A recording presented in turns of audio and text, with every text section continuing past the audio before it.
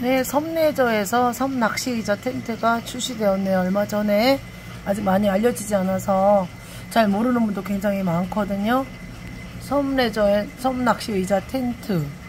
어, 별로 안 비싸면서도 활용하기가 좋아요. 요즘 경기 어려운데 고가보다가는 적정한 가격에 어, 구매를 하면 좋겠죠? 이제 얘를 나와 있는 그림, 그림을 비춰봅니다. 오, 밀리터리로 됐어요. 앞면, 뒷면. 1, 2단 조절이 가능하고 각도 조절 부위가 이렇게 되어 있네요. 음, 완전히 접었을 때 뒤로 아마 신제품으로 만들어서 굉장히 기존에 있던 제품들에 비해서 장, 단점을 많이 장점화 시켜서 했으리라고 봅니다.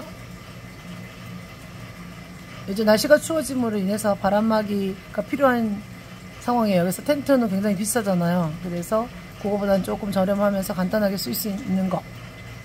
오, 좋습니다. 장점이 많아요. 바람막이 점, 어, 근데, 어, 이거 설명은 제가 다 못 해드려요. 여러분들이 보고 선택을 하시면 좋듯 합니다. 짜잔, 짜잔, 짜잔, 짜잔. 호환 가능 의자. 선, 섬낚시 의자 전 제품이다. 호환이 가능하다. 이게 사이즈가 나왔네요. 웬만한 건 다 가능하겠죠. 타사커도.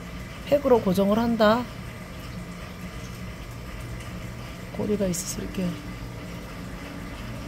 되어 있네요. 와 가방에 고정 팩에 오 좋습니다. 무게 뭐 팩에 가방에 시형 고리에 이렇게 구성품이 되어 있습니다. 네, 성레저에서 의자도 굉장히 유명하지만 의자와 함께 의자에 치는 섬 낚시 의자 텐트 겨울에 아주 유용한 텐트 소비자가 시큼한 2,000원 아름답고 좋은 가격에 예쁜 체외사익을 문의하면 또 상담을 해드립니다. 잘 나가고 있네요.